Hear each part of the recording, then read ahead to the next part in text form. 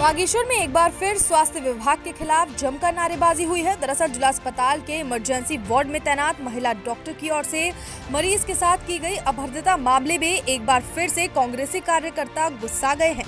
जानकारी के मुताबिक जिला अस्पताल में फिटनेस सर्टिफिकेट बनाने आई एक महिला के साथ। महिला डॉक्टर के अभद्र व्यवहार करने का मामला सामने आया है, जिस पर नाराज़गी जताते हुए पूर्व विधायक ललित फरसवान इमरजेंसी वार्ड में धरने पर बैठ गए। जिसके बाद पूर्व विधायक ने अस्पताल में जमकर हंगामा काटा और महिला डॉक्टर को तत्काल पद से हटाए जाने की मांग की। वहीं लगातार अव्यवस्थाओं के घेरे में आ रहा जिला अस्पताल एक बार फिर सुर्खियों में आ चुका है। आपको बता दें कि जिला पंचायत सदस्य गोपा धपोला ने महिला वार्ड को लेकर गंभीर आरोप लगाए हैं। इस दौरान मामले में जिला अस्पताल के सीएमएस का कहना है कि मामले की जाँच की जाएगी। साथ ही इस मौके पर सीएमएस की ओर से धरने पर बैठे विधायक को मनाने की कोशिश की गई, लेकिन विधायक ने उनकी एक नहीं सुनी।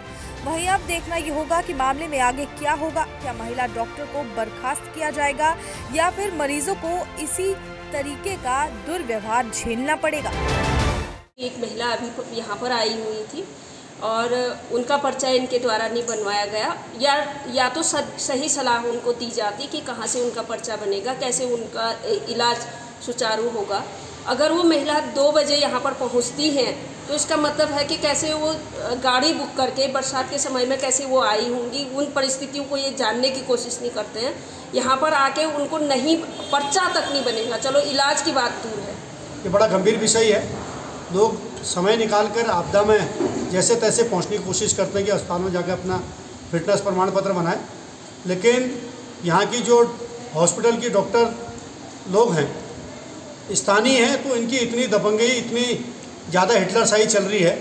वो किसी को अपने सामने कुछ नहीं समझ रहे। ये बात करने पता लगा डॉक्टर डॉक्टर आशा मेहता से मेरी बातचीत हुई।